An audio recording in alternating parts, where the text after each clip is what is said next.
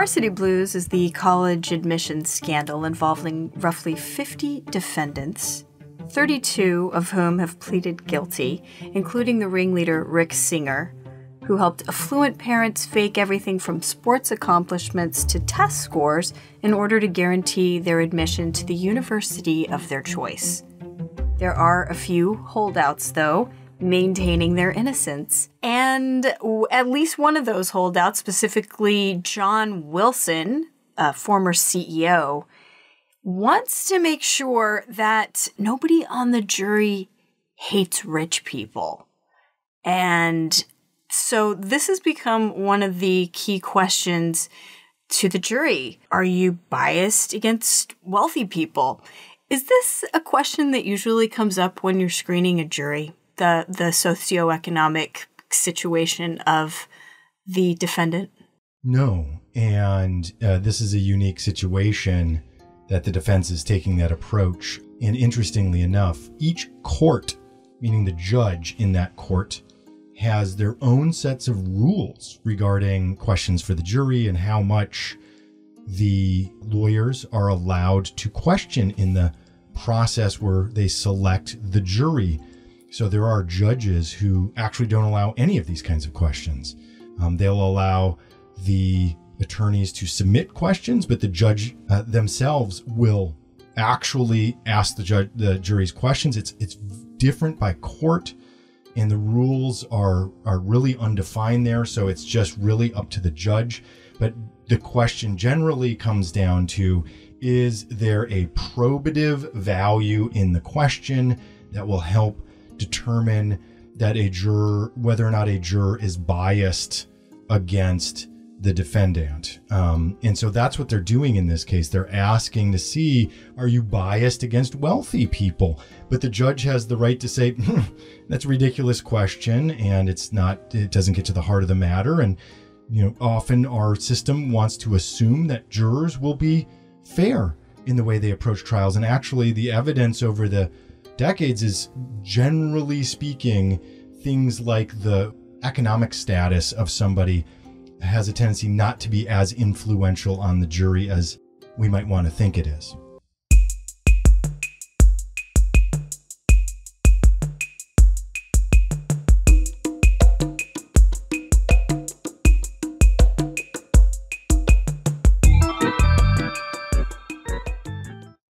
Also being very, very careful about the jury having been exposed to any information about this case in the news, the documentary that came out recently on Netflix.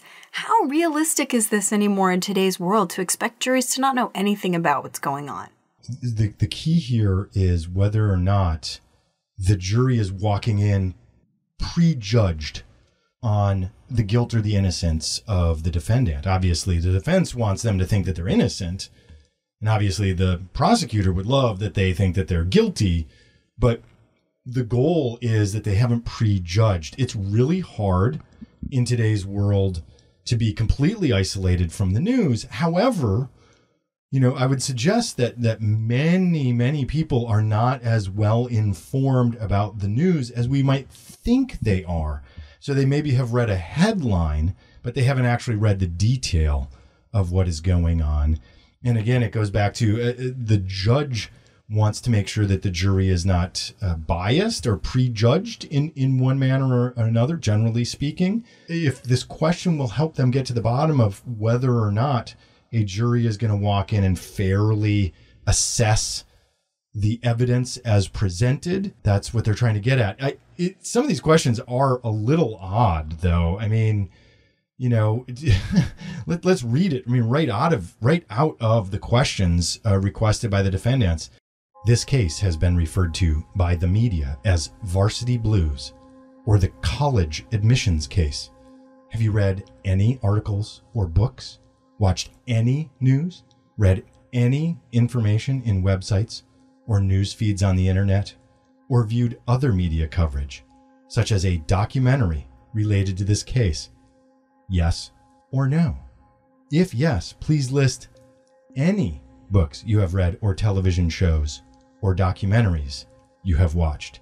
If yes, describe the amount of media coverage you have seen about this case. none, a little, a moderate amount, a lot. So that seems like innocuous questions, but that is really probing deeply. And this is almost exclusively up to the discretion of the judge. Now, if the defendants uh, don't agree with the judge says this is this is too much, they can try to appeal it, but the appeals courts give great deference to uh, trial court judges on this type of discretion. So this is really going to come down to what the U.S. District Court judge in this matter has to say about this. And by the way, the judge is Nathaniel M. Gorton, and so far it seems to be a real kind of straight shooter.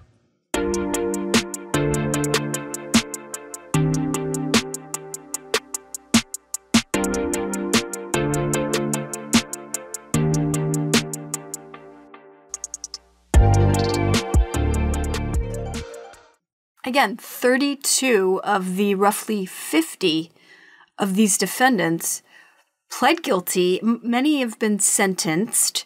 And then you have this group, this small number, who are insisting that they are innocent. They're pleading not guilty.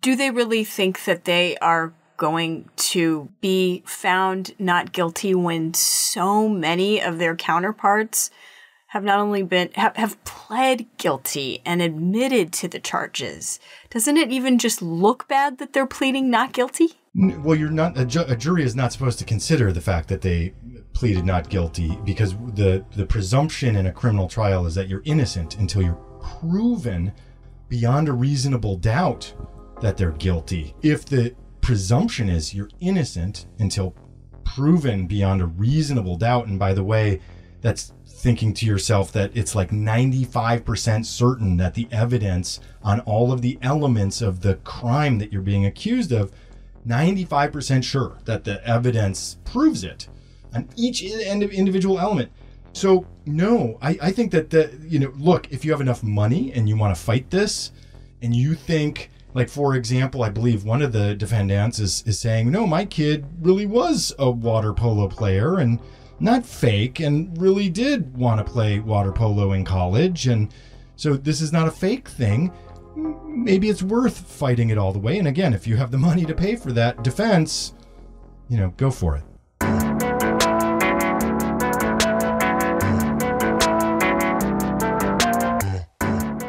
The defendants team want to make sure that the jurors have not seen for example, the Netflix documentary, but all the Netflix documentary is are conversations that were wiretapped by the FBI. But I mean, isn't that going to come out in the trial anyway? Yes, the prosecutors will absolutely use the recordings in trial. And and it's fascinating because nobody has argued that those recordings are fake. Therefore, the authenticity has not been challenged. And the only question would be that if the defense says evidence shouldn't be admitted, it's prejudicial to the jury, and it lacks probative value, which I think there's not a judge that would grant them that. And the prosecutors absolutely want wiretap information. That that information is powerful on how it influences a jury because it's in the words of the defendants, you know, on tape not in a court situation. And so that is really, really powerful. I think that those recordings are very damning for the defense. It, that is a steep, steep hill to climb when you have the person's own words admitting what they did. But again, you know, we're talking about things like fraud again here, which requires intent. Did they know what they were doing was to deceive somebody else? And based on what Netflix has presented, it sure seems that way.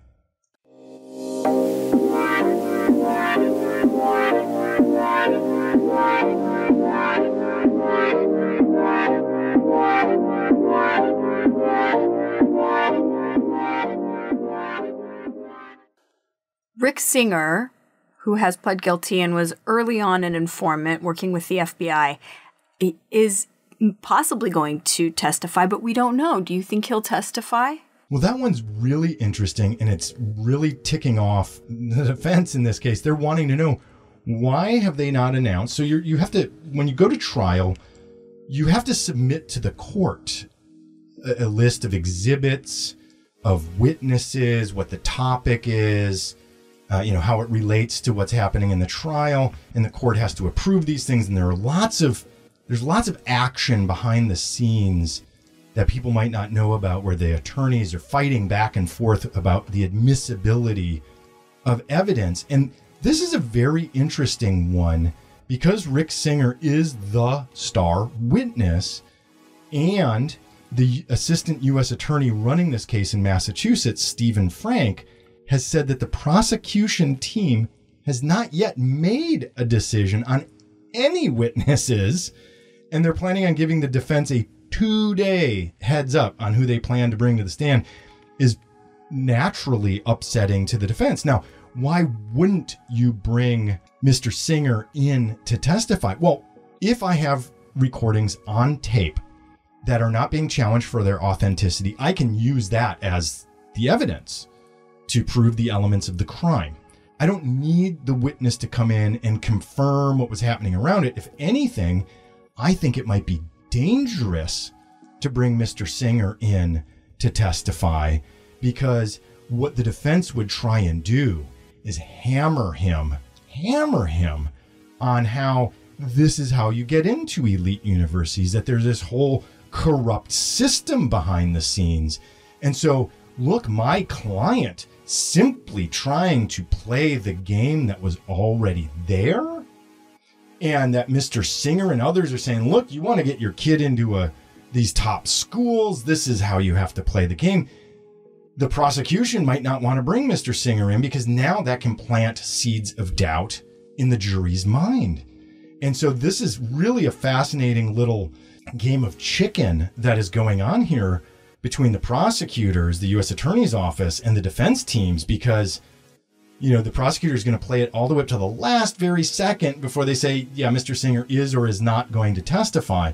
And the defense has argued with the judge in this matter that look, you can't do that because if you bring Mr. Singer in, that's going to extend the trial. We're going to spend two weeks cross examining him, which, by the way, is a tip off to the prosecutors here that that's what I'm suggesting is very likely the case. They're going to attack Mr. Singer on the idea that this is the way you get your kid into these top universities is this super corrupt system.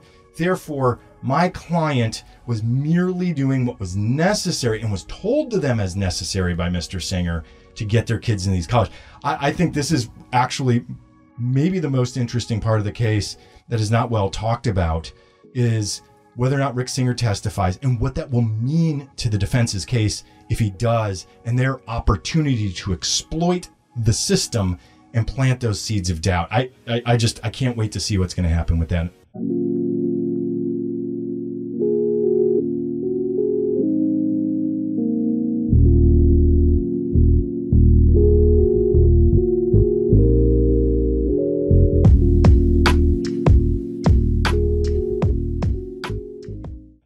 Is socioeconomic status something that could be used in the future as a defense? I think that's possible. It's a harder argument. And just as a society as a whole, I don't know that that is a winning argument very often. It really depends on the jury itself and how that shakes out. So that is so dependent on the jurisdiction and what the jury pools look like in the jurisdiction where you're trying that you know, if it, it and I don't want to suggest which area of the country or which jurisdiction is going to be better or worse for that, but there definitely are going to be certain jury pools that will be more sympathetic to a lower economic status defendant. The biggest problem that you're going to run into with a lower economic status defendant, just generally speaking, while there are amazing public defenders in this country often in most parts of the country they are underfunded, they are understaffed, they are overworked, and they might not have the uh, resources to fight the feds as much as these wealthy defendants have. And subsequently, you know, what the data show us is that more often the lower socioeconomic status defendants are going to just settle for the plea deal And and that is actually a big question of justice in our country. Is just because I'm lower socioeconomic status means I have to accept a crummy plea deal. Whereas these super wealthy individuals don't take the plea deal and they're going to fight this thing tooth and nail and maybe come out better because of it. It feels like a multi tier justice system when viewed through that lens. Thank you for listening to Law Junkie Show. Find us on social media at Law Junkie Show on Instagram and Twitter. Be sure to rate, review, subscribe, like, and share. We love your feedback. Contact us at info at lawjunkieshow.com or go to lawjunkieshow.com and fill out our contact form. Disclaimer Law Junkies show, including its guests and hosts, are not giving out legal advice but discussing general legal issues. Law Junkie show does not guarantee that the legal issues discussed are fully accurate, and it's not specific to whatever legal issues you may be experiencing. None of this advice is to be acted upon in your situation. Please seek legal advice from a licensed attorney in your jurisdiction for your individual legal matter.